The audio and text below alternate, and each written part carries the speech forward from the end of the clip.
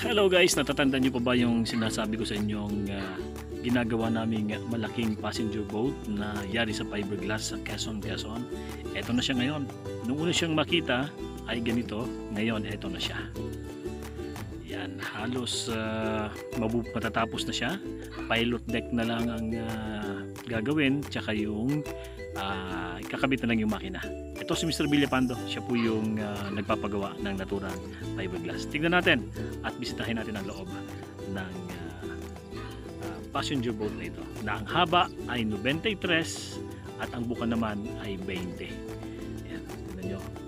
Makinis na ho ang labas niyan. Wala akong gamit na masilya yan. Ginamitan ho ng gel coat yan.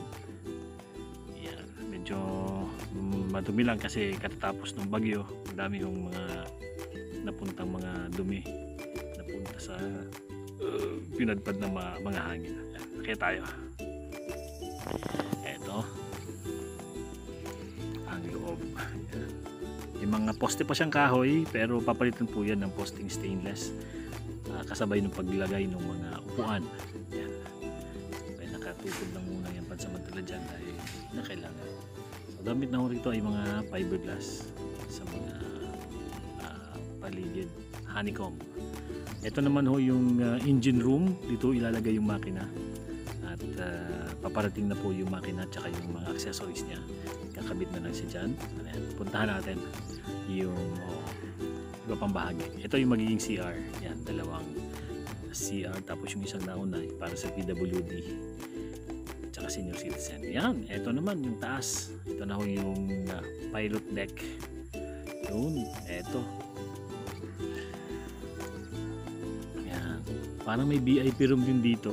Tapos, uh, honeycomb yung taas na yan. Yan. Honeycomb din po yung sahig. Yan. Ito yung pilot deck. Yan. May division din siya. Tapos itong position ko, pati natatayuan ko ay parang ah, isang ah, VIP room. Ito yung taas. Lalagyan na lang yan dyan ng railings na stainless. Yun. Okay na. Okay, baba na tayo at hanapin natin si Mar para makaugnayan natin, ma-interview natin. Okay, ngayon po ay uh, kaugnayan natin si Mar. Mar Jimenez, yan. Si Mar Jimenez po siya yung uh, gumawa ng forma, siya yung pinaka-engineer nitong bangkang ito. Tumulong lang ako para sa pagpahid ng fiberglass. Mar, ilang buwan yun ang ginawa ito? Tatlong buwan ho. Tatlong buwan. Uh, kailan ito matatapos sa paligid? Mga 2 weeks na lang. 2 weeks na lang. Lalagyan na lang ng makina tsaka yung pilot deck ano. Salamin yan. Salamin, pilot deck, yun. Tura. pintura. So, bilis ng gawa. At uh, ilan ang capacity ng bangkang ito? Ah, 150 ho.